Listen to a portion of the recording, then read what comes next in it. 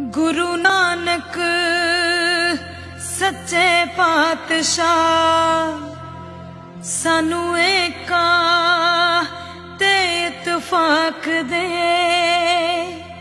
ਪਿਆਰ, ਮੁਹੱਬਤ ਪਾਕ ਦੇ, ਰੋਜ਼ੀ ਰਿਜ਼ਕ, ਰਜ਼ਾਕ ਦੇ, ਕੁਝ ਪਾਣੀ ਸੁੱਚਾ ਸਾਫ਼ ਕੁਝ ਬਾਣੀ ਦਾ ਪ੍ਰਤਾਪ ਦੇ। ਅਨਦਾਤੇ ਨੂੰ ਇਨਸਾਫ ਦੇ। ਹੋ। ਮਤ ਪਤ ਹਵਾਲੇ ਆਪ ਦੇ। ਗੁਰੂ ਨਾਨਕ ਸੱਚੇ ਪਾਤਸ਼ਾਹ ਸਾਨੂੰ ਬਖਸ਼ ਦੇ, ਕਰ ਮਾਫ ਦੇ, ਹੋ। ਸਾਨੂੰ ਬਖਸ਼ ਦੇ, ਕਰ ਮਾਫ ਦੇ। ਮਜ਼ਦੂਰਾਂ ਨੂੰ ਮਜ਼ਦੂਰੀਆਂ ਦੇ ਸਭ ਨੂੰ ਸਬਰ ਸਬੂਰੀਆਂ।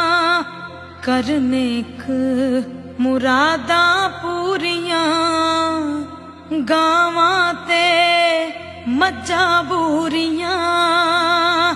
ਦੁੱਧ ਕਿਉਂ ਜਪ ਜੀ ਦਾ ਜਾਪ ਦੇ ਹੋ,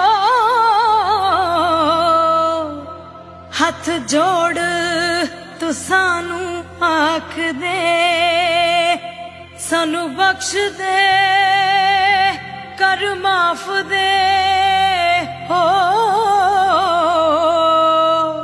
ਸਾਨੂੰ ਬਖਸ਼ ਦੇ, ਕਰ ਮਾਫ ਦੇ। ਅਸੀਂ ਕਲਯੁਗੀ ਜੀ ਸੰਸਾਰ ਦੇ, ਤੇ ਪਰੇ ਪਏ ਹੰਕਾਰ ਦੇ। ਨਿੰਦਿਆ ਚੁਗਲੀ ਤੇ ਤੋਮਤਾਂ ਵਿੱਚ ਟਕਰਾਂ ਫਿਰਦੇ ਮਾਰਦੇ।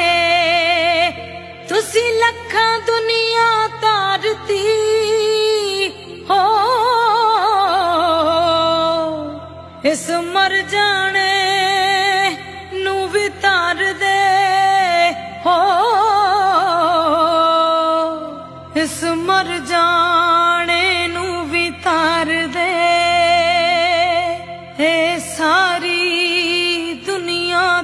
मार दे